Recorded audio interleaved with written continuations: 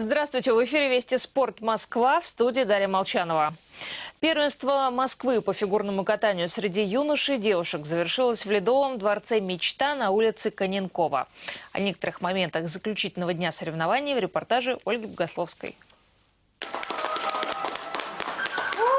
Во время своей произвольной программы Евгения Медведева не раз срывала аплодисменты. Воздушная, почти невесомая и не по годам устойчивая будущая победительница элемент за элементом выполняла с аккуратностью круглой отличницы.